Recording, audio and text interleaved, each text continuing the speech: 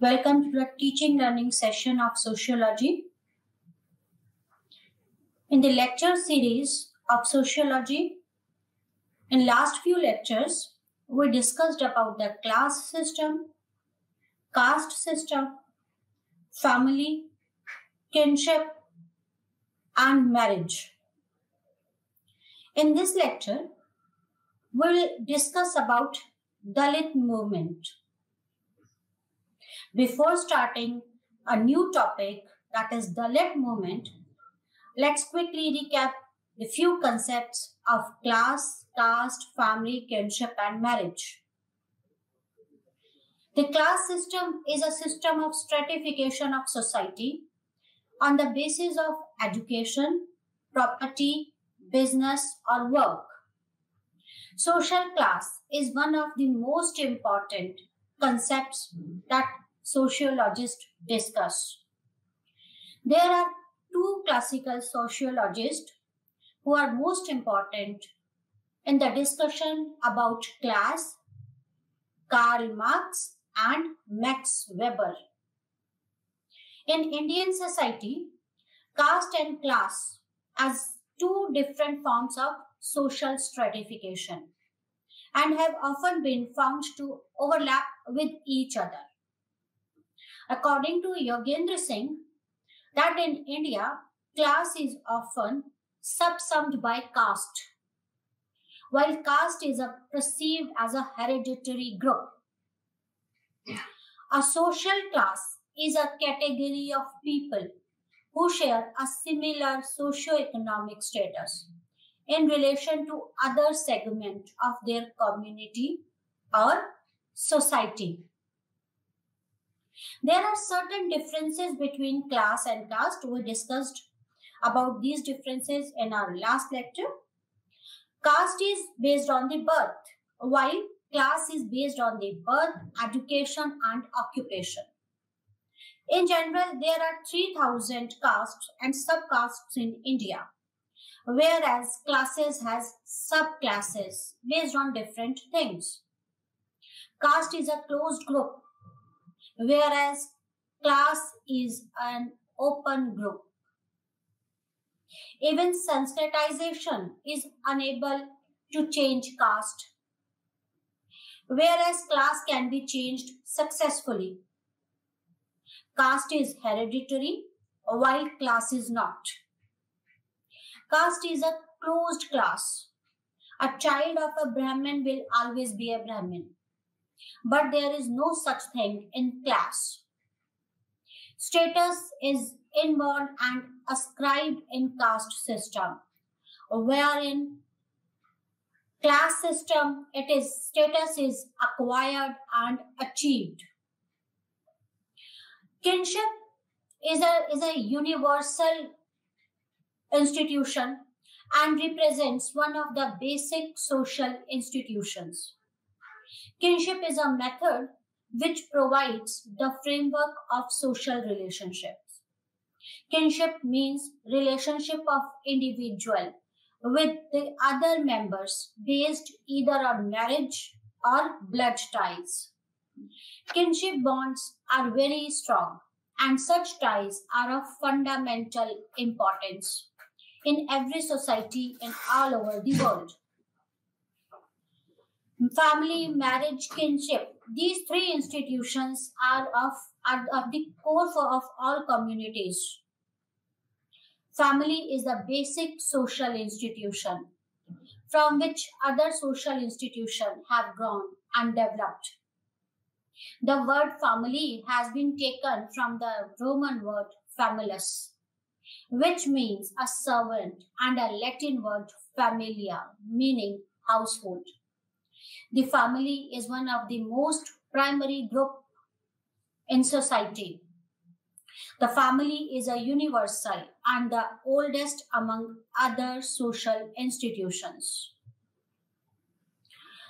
Religion, we discussed about the religion. A religion word come from the Latin word religio, respect for what is sacred, and religare, to bind in the sense of an obligation. The term religion describes various systems of beliefs and practices concerning what people determine to be sacred or spiritual.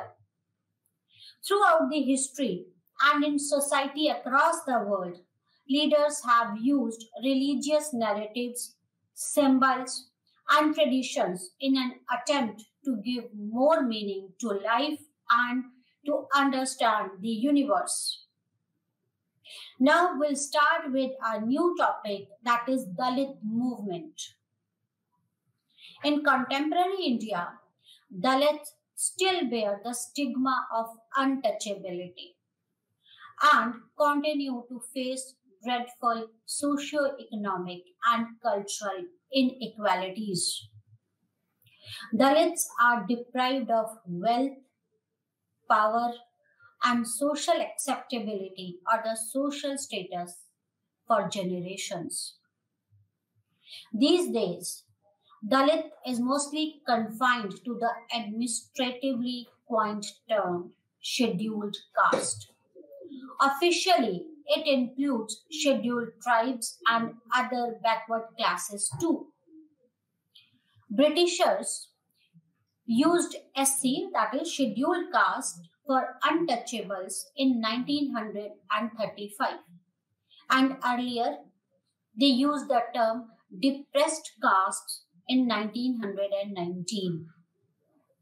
Commonly, Dalit is also used for all marginalized sections of the society poor landless peasants, women, tribals, workers, and those exploited in the name of religion, politically, culturally, and economically. Dalit means members of the lowest caste, the downtrodden and an erstwhile untouchable caste.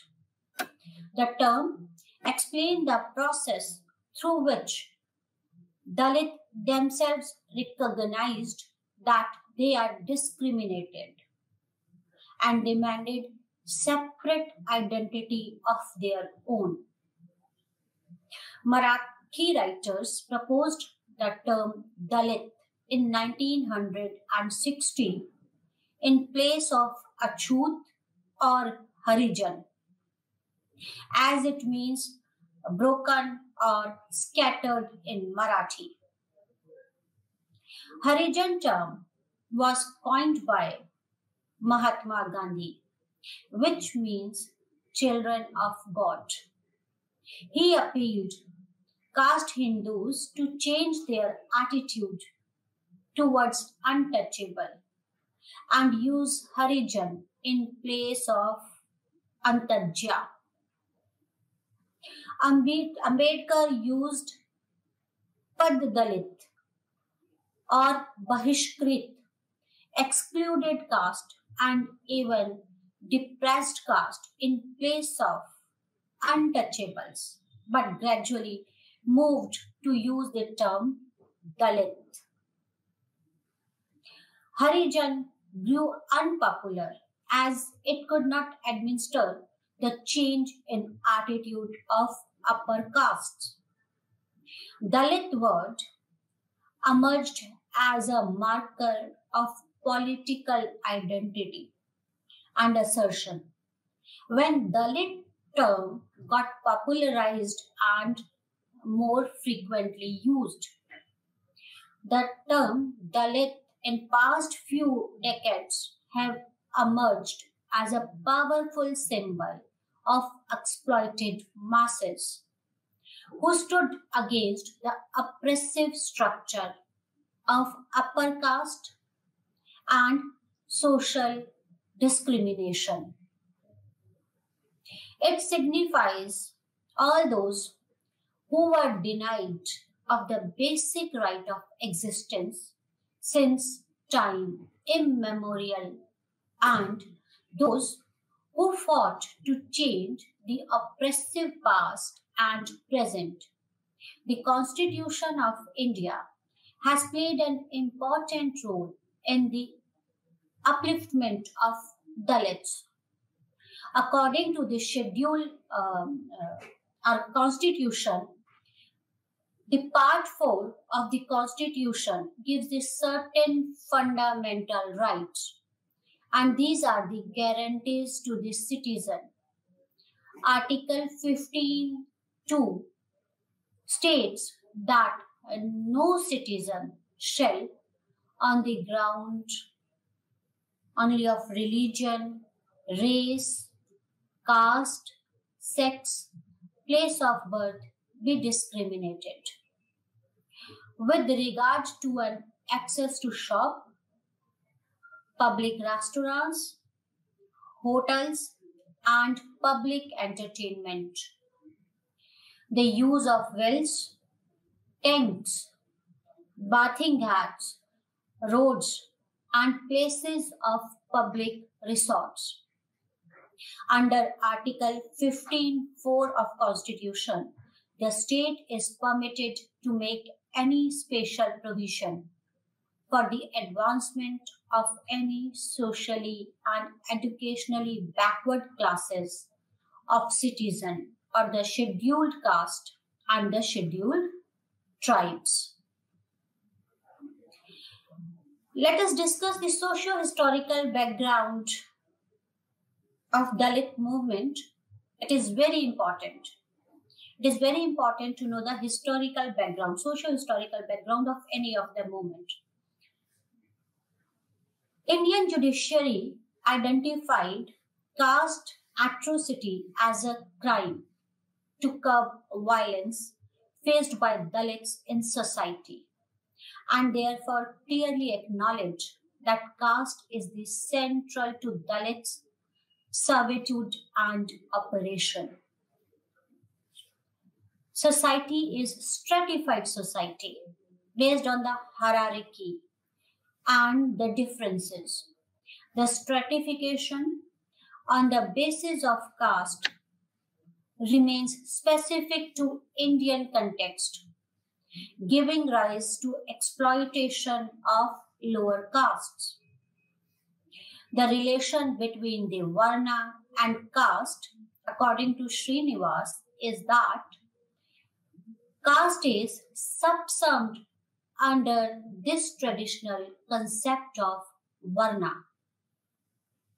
Varna scheme has given distorted image of caste system where Brahmins are at the top and the untouchable at the lowest.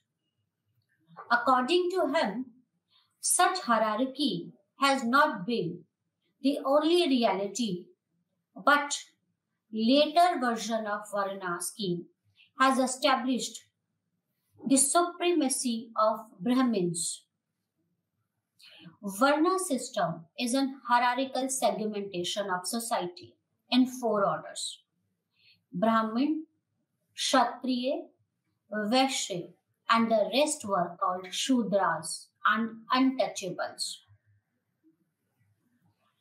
As Ati Shudras, who were outside the Varna scheme. The segmental society is based on the myth established in the society that the Brahmin emerged from the mouth, the Kshatriya from the arms, Vaishyas from the thighs, and Shudras from the feet of the Creator. Srinivas writes that the group from Ayodhya are Chandal, Nishad, and Pulkasa also were outside the Varna scheme. In this fourfold system, first three are twice born. That is, man passes through Upanayana ceremony where sacred thread is donned to them, whereas Shudras and untouchable had no rights to adorn that thread. The distinctions brings ritual superiority of other three varnas over Shudras and Ati-Shudras. The ritual superiority is based on the principle of Brahminic Hindu religion. Varna in Rig Veda means color. And initially, Varna described just Aryas and Dasas. That later become distinction between Aryas and Shudras. Each Varna subsums a large number of castes. Shudra category includes the largest number of non-Brahminical castes. Since the ritual considerations create these. Four orders, caste is seen as hierarchical system. Caste as an endogamous group based on the notion of purity and pollution that provides uh, lowest status to Shudras or Ati Shudras and recognize untouchability as a social practices. The caste atrocities are result of this order of hierarchy that has to be followed through differences in practice and religious rituals. Caste acquired political functions after constitutional provisions. But the ritual uh, aspects still remains the fundamental source of caste differentiation and hierarchy. That is, political functions that the caste acquires the political functions after constitutional provision because of provisions made in our constitution. But still, the ritual aspects still remains the same as it was prior. It obtained a new meaning in British India and with the rise of Western liberalism and grew stronger as an institution. Defining identity and community in independent India too. Dalits were seen to escape caste atrocities through conversions and Sanskritization. This Sanskritization concept was given by Srinivas. Srinivas says that problem of untouchables remained different from the other lower caste as they could not take the advantage of westernization or move up the ladder through Sanskritization. The concept of westernization was also given by the Srinivas. So according to Srinivas, this problem of untouchability remained different from the other lower castes. The untouchable could not take the advantage of Sanskritization or westernization. The constitutional provisions brought changes in the status of untouchable in independent India. But caste atrocities continue giving rise to near Dalit mobilization. Untouchability is one of the aspects of Indian society that has obstructed the growth and development of our country.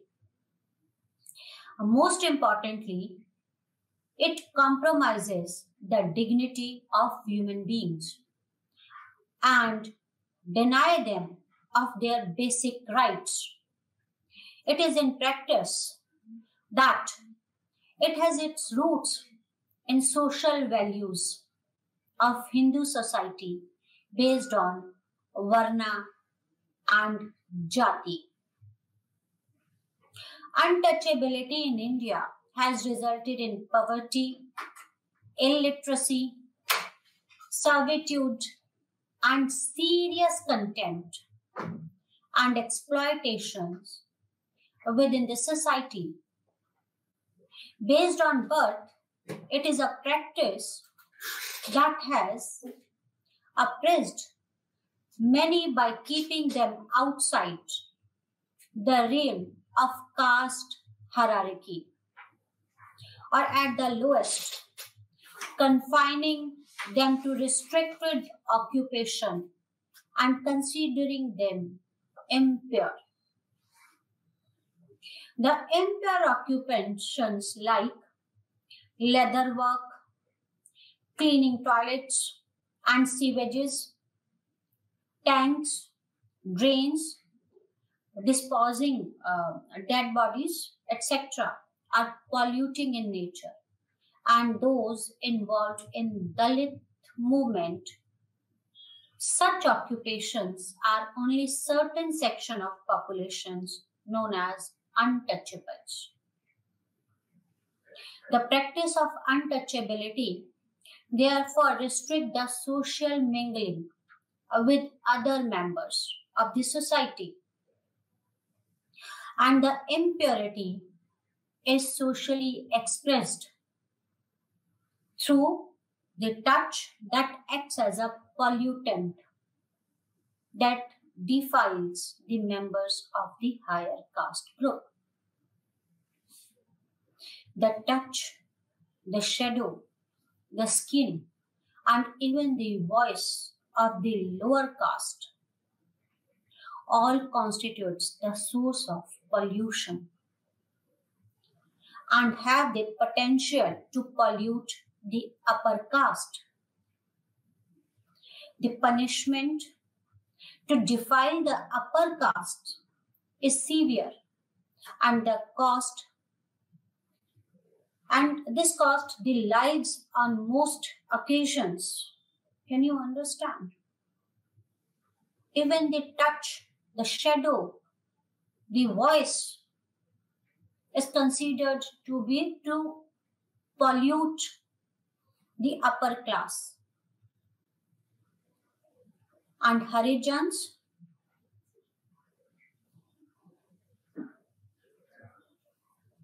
can it cost the lives of the Harijans. They cannot move around freely participate in social life, access the places of worship, participate in festivals, fairs, community spaces. This practice exists since the system of Chaturvarna, that is the fourfold system of Varna we discussed earlier, that is Brahma, Brahmin, Kshatriya, Vaishya, and Shudra system.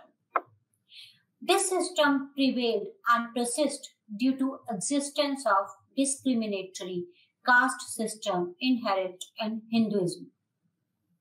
Bhimrao Ambedkar in 1948 defined it untouchability is the notion of defilement pollution, contamination, and the ways and the means of getting rid of that defilement.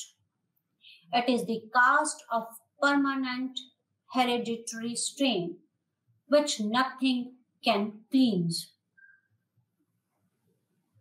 The orthodoxy of Brahmins and their domination grew as it drew their legitimacy from the constructed argument that Hinduism is the ancient religion of Hindus.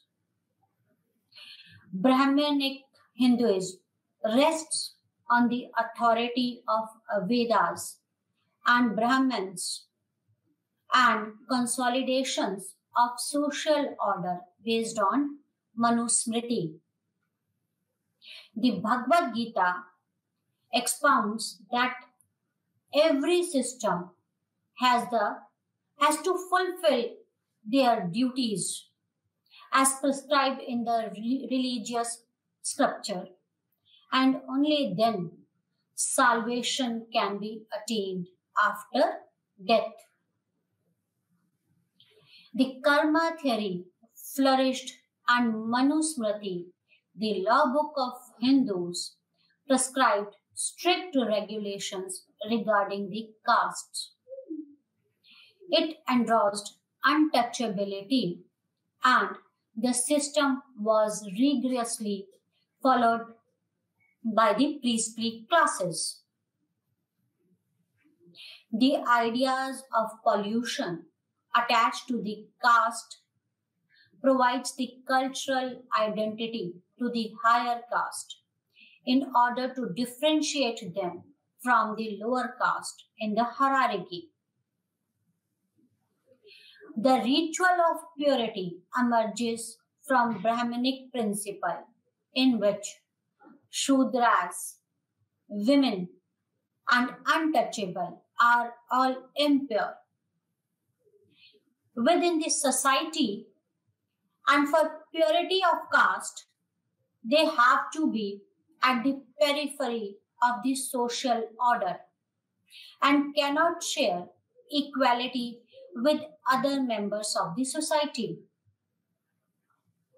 The principle of ritual, uh, ritual purity embedded in Brahmanic practices. This led to hegemony of upper castes and lower castes were denied of all social rights. The temple entry was banned for untouchables. The complete disempowerment of the lower caste and their servitude enhanced the domination, dominant position of upper castes, ritually in every respect. The higher positions in the caste gave them religious legitimacy to exploit them in the name of rituals. Dalit movement therefore stood to reject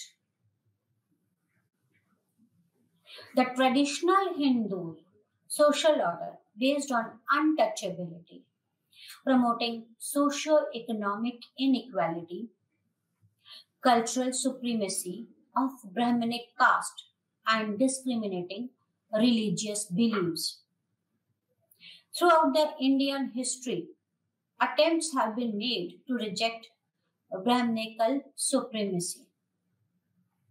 The Bhakti and devotional cults between 10th and 13th century rebelled against caste hierarchy and Brahmin domination, claiming devotion as the only way to the salvation in place of caste.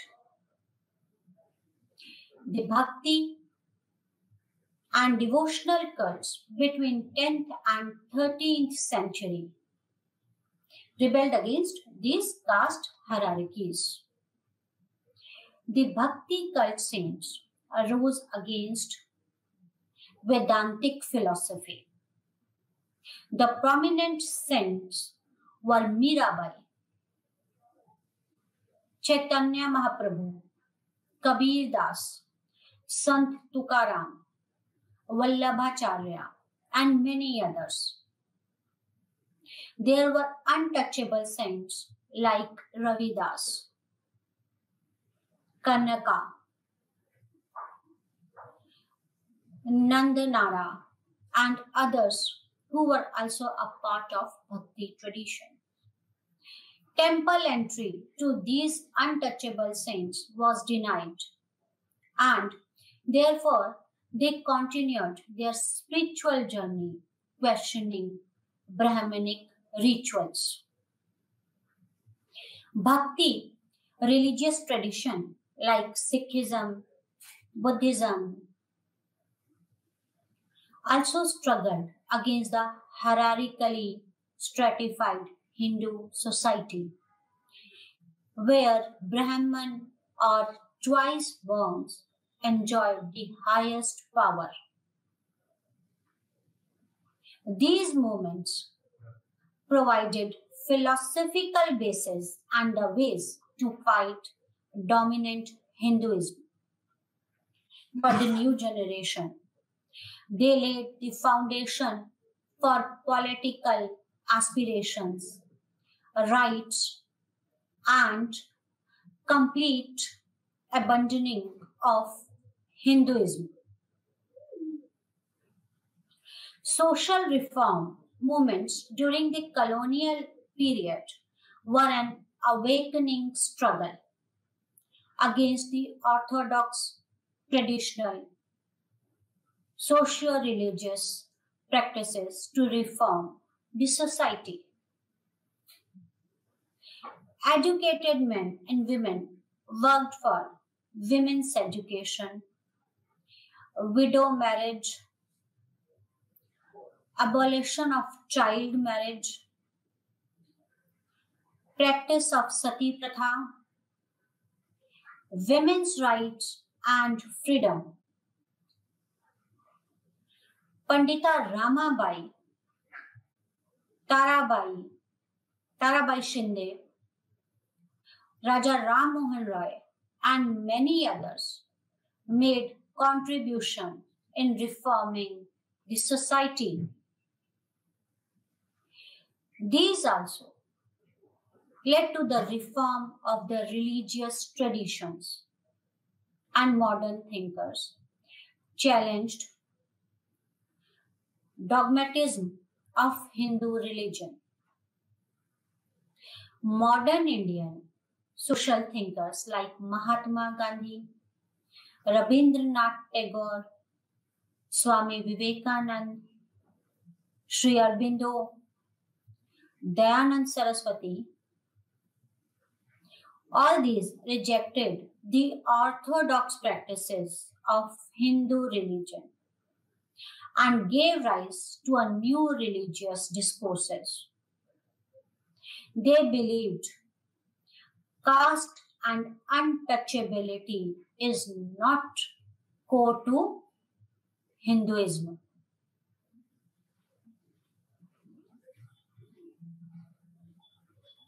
With the development of printing technology,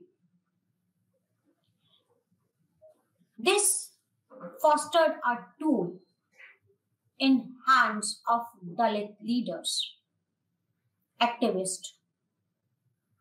Education became the central concern of the activists and there was a rise of Marathi Dalit public sphere in colonial India and later after independence.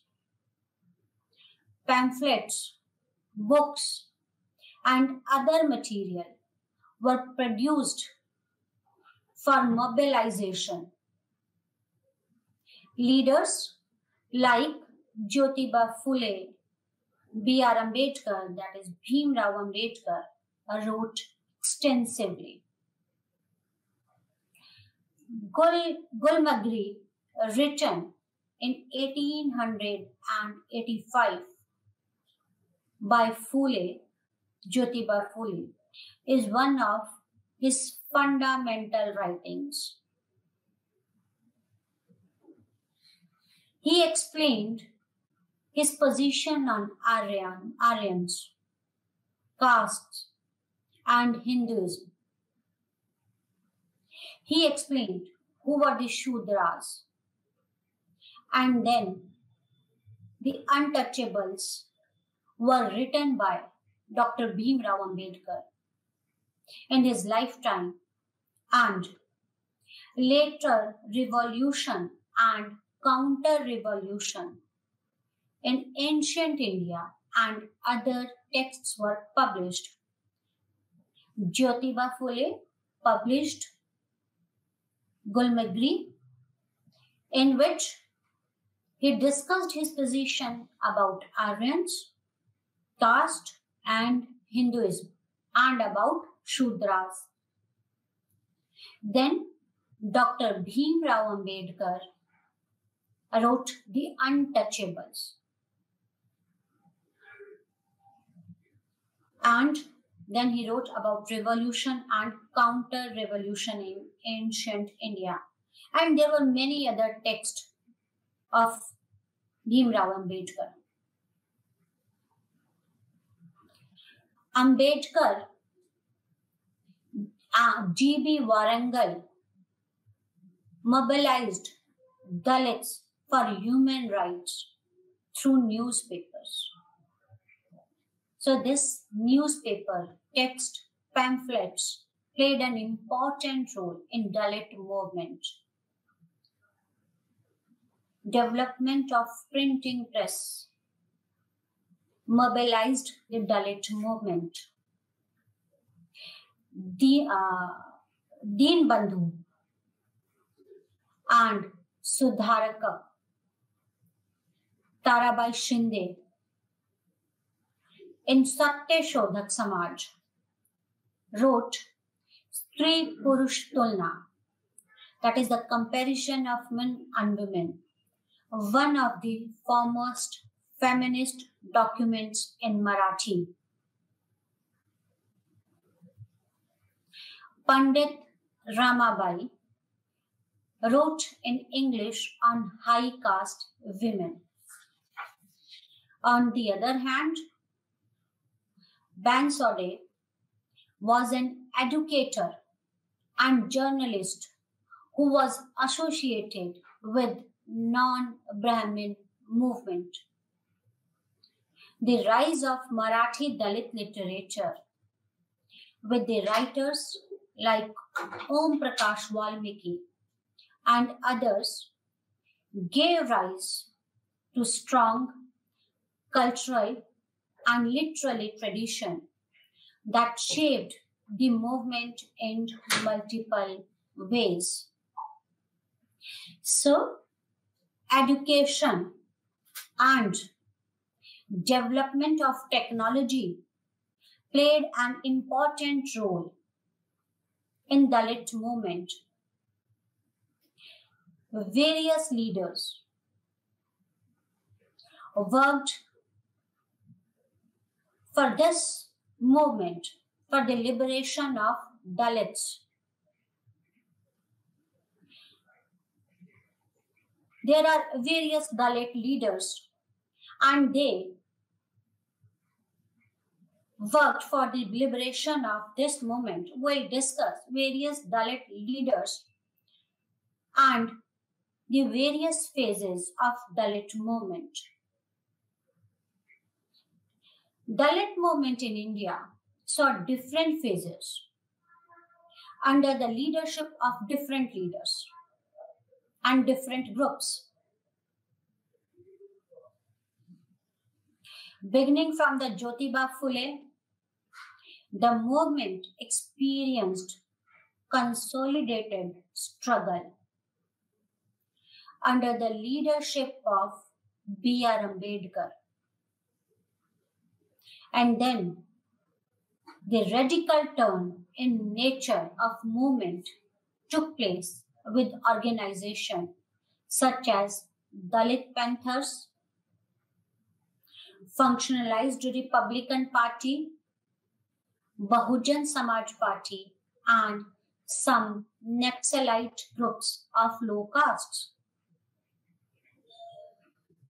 The Dalit movement so the different phases, has gone through different phases under the leadership of different leaders. Uh, Jyotiba Phule was the one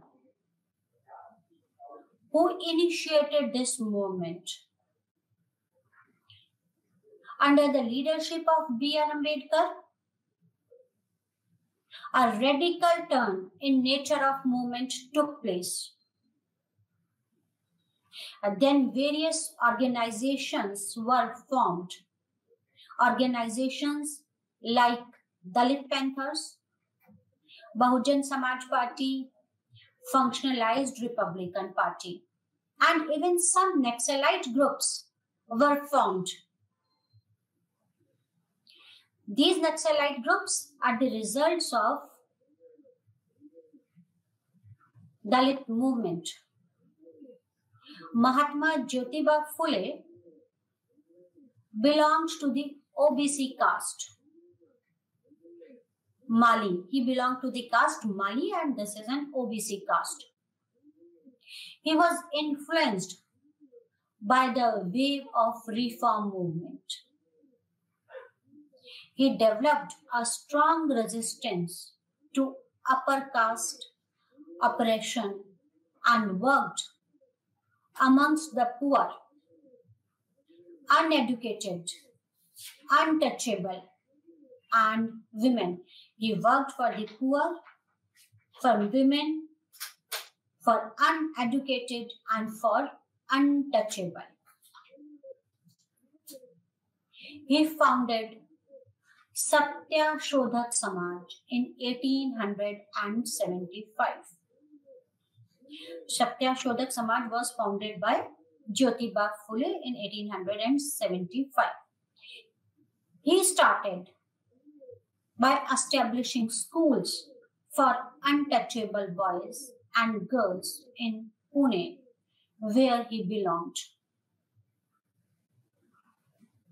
As a social reformer, he had a vision that if education is imparted to the poor, untouchable, it will propound rationality to fight the priestly caste. So he understood the importance of education. Education is only way to fight the priestly caste. For this, he started schools for untouchable. He saw education as a major source, source of social change and argued that knowledge, education, and science are weapons of advancement in hands of poor.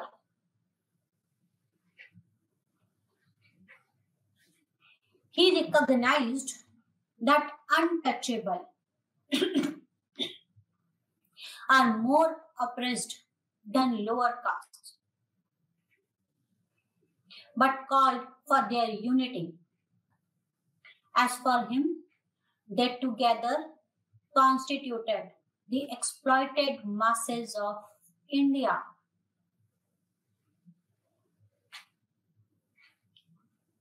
He felt it is a necessity that Shudras and Ati Shudras need to think on their own and to recognize caste as a source of slavery and to think they should be educated.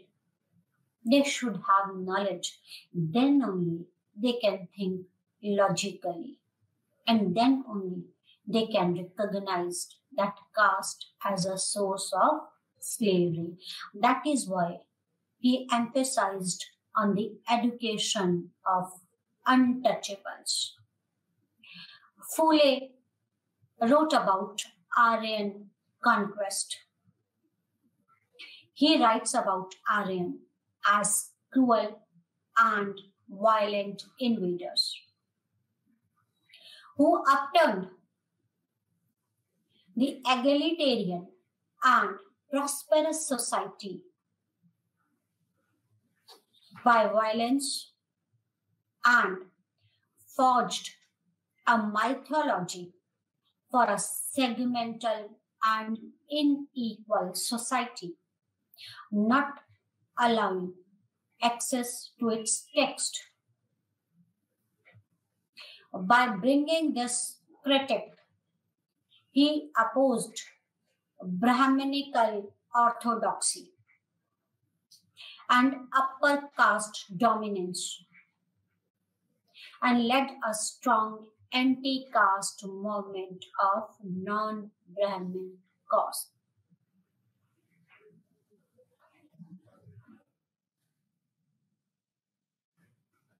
Along with Savitri Bai, Savitri Bai Phule was his wife.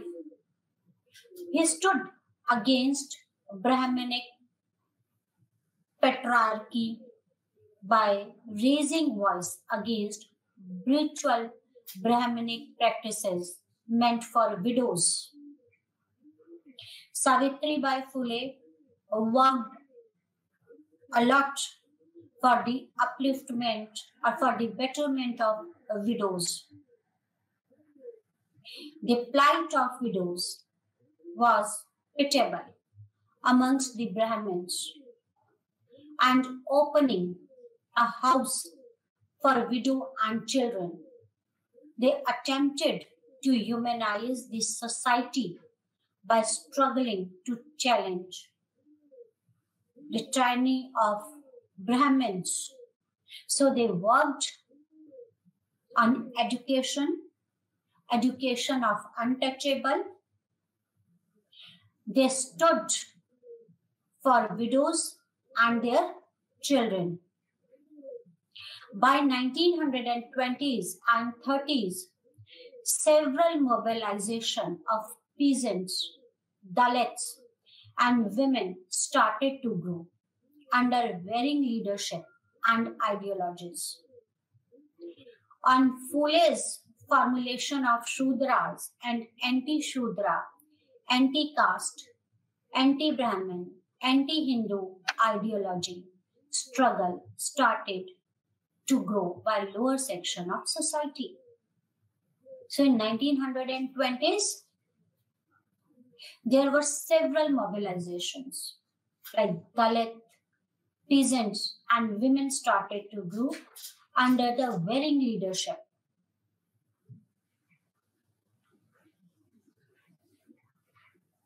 Phule formed Shudras, anti-Shudras, anti-caste, anti-Brahmins, anti-Hindu ideology. The non-Brahmin movement in Maharashtra and Tamil Nadu, the Dalit movement in other states like Punjab, Karnataka, and UP all highlighted Phule's ideology about Aryan conquest. What was his ideology? According to him, Aryans were violent, were brutal. They were responsible for this caste system in India. Aryans, according to Phule, Aryans were responsible for this uh, Varna hierarchy. Phule ideology was against the Aryan and Brahmin exploitation on the basis of religion. So he was against Aryan conquest as well as Brahmin's exploitation on the basis of religion. The Adi traditions claiming lineage to non-Aryan began to take place at several places.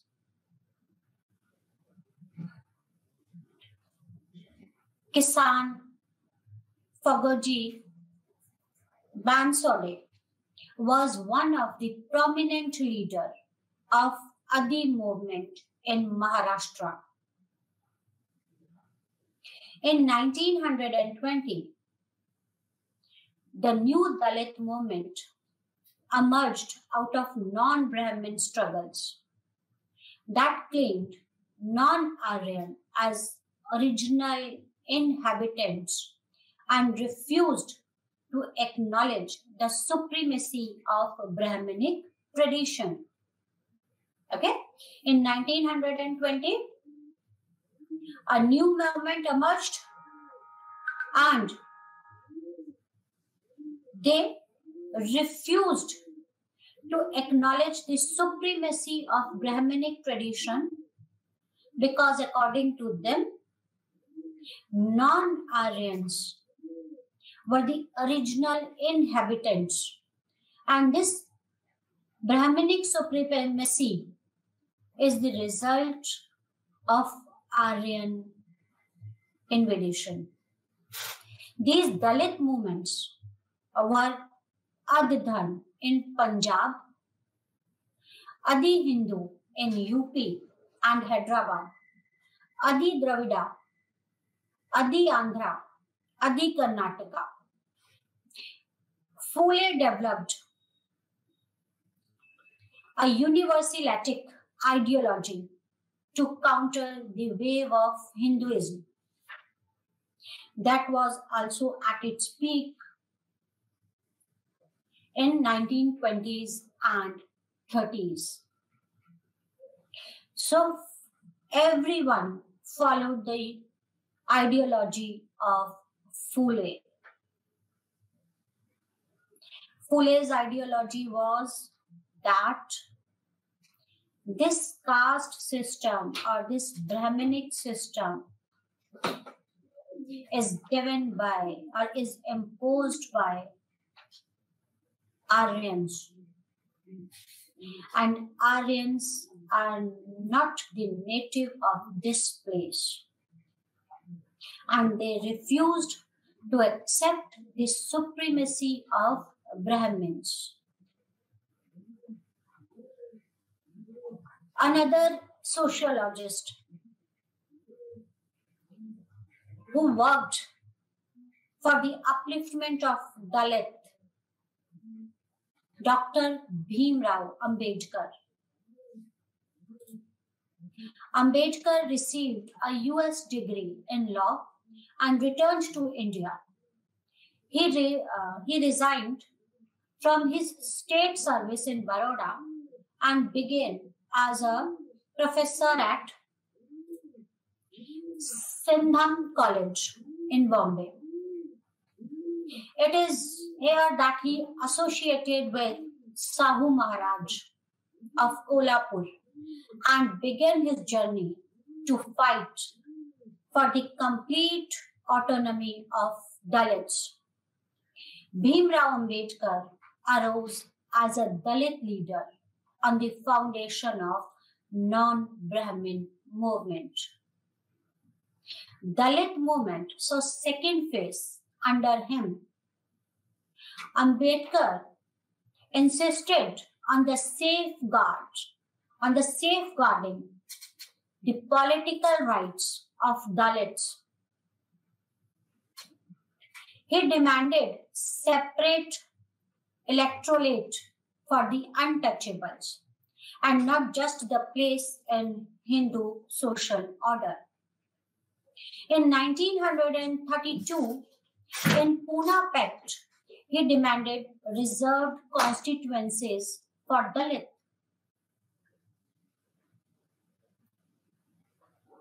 Ambedkar, in the period of 1930 and to uh, between uh, period between 1930 to uh, 1956, it was inclined. He was inclined towards equal political rights and complete abolition of caste system.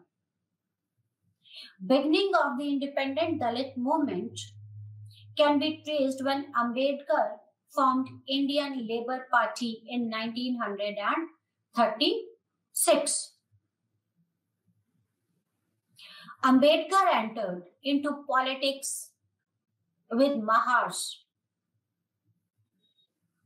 forming Bahishkrit Hitkarni Sabha that soon started to hold conferences in and around province. The first Dalit liberation movement, Mahad Satyagrah, was an outcome of the one of the conferences. The decisions to drink water from the town tank resulted in the failed attempt, but the message against Brahminic separation was loud and clear, and they burned the copies of Manusmriti. Ambedkar emerged as the most powerful leader with a growing atmosphere of radical opposition to Congress and resentment of peasants, workers, and other marginalized sections. Ambedkar sharpened his struggle against upper castes by strongly proposing the unity of workers, peasants, Dalits, non Brahmins, and political alliance with non Congress parties. According to Ambedkar, not only Brahmins but capitalism and landlordism is also enemies of people. And he believed that not just the social but economic liberation of Dalit is also mandatory for the improved social status in society. Adopted socialist framework and believed in state guided industrial development.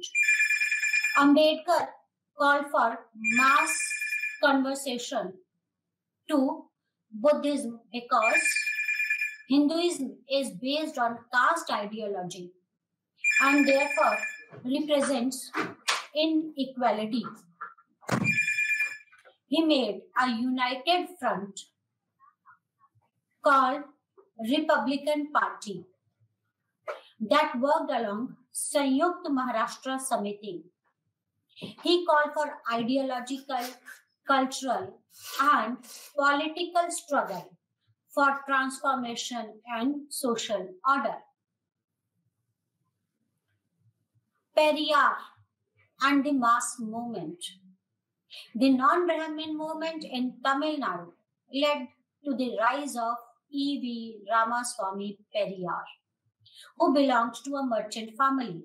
Like Jyotiba and Savitribai Phule, there were others such as Ramasamy, Ramasamy Naikar in Tamil Nadu and Kerala. There was a Dalit movement known as Sri Narayan Dharma Paripalana movement or SNDP movement. Mahatma Gandhi defended Varnashram Dharma. He contested it strongly and declared that if India has to gain freedom, it has to dissolve Congress, Hindu religion, and Brahman domination. Like Jyotiba Phule, Periyar formed a self-respect league in 1926. This league professed radical nationalism and stood against the caste and religion. Periyar's radicalism, anti-caste and anti-religion views were expressed in his radical speeches giving new orientation to non-Brahmin movement. After Ambedkar, several movements arose under the banner of different parties. A radical turn was experienced by coming of Dalit Panthers who fought in collaboration with all parties that were committed to, uh, to abolish caste and class politics in the country. It was a militant organization of Dalit youth that was born in Bombay in 1972. They claimed that the entire state machinery in post independent India was dominated by feudal ideology and interests, and such ideologies based on their religion have deprived Dalits of their rights as individuals and power, wealth, and status within society. Aligned with several voices across the country, they arose against corruption, poverty, state domination, marginalization of weaker section, Dalit Panthers gave a new direction to Dalit movement while widening its horizon. That's all for today. In our next lecture, we'll discuss about uh, tribal movements and feminist movements